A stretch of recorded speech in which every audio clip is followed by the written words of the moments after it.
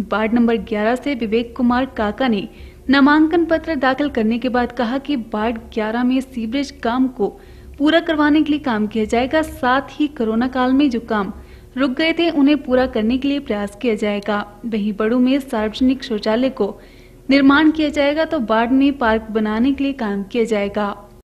बड़ों का आशीर्वाद और छोटों से प्यार। मैं विवेक कुमार काका, जो वार्ड नंबर 11 से नामांकन भरा है अभी अभी। मेरा एजेंडा ये है कि जो कार्य, जैसे पहले मेरी माता जी वहाँ पर प्रधान थे तो हमने जो कार्य वहाँ पे रुके हुए थे, उनको चलाया है। और जैसे कि बिजली, पानी, सफ़ाई, वो तो है ही सबसे मेन मुद्दा वहाँ पे था सीवरेज का, जो कि पंद्रह बीस सालों से रुका पड़ा हुआ था।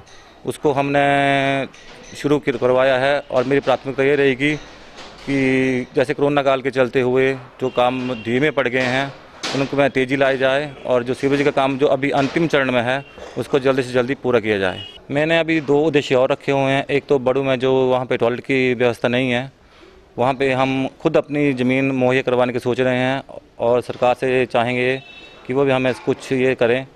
बाकी वहाँ पे एक बच्चों खेल के, खेलने के लिए पार्क नहीं है, क्योंकि बच्चे वहाँ पे ग्राउंड है, वहाँ पे बच्चे बूढ़े सारे सड़क में घूमते हैं। और उनको बहुत मुश्किल होती है और बच्चे भी सड़क पर खेलते रहते हैं, जिससे वहाँ काफ़ी दुर्घटनाएँ होती हैं। मेरा अगला यही है।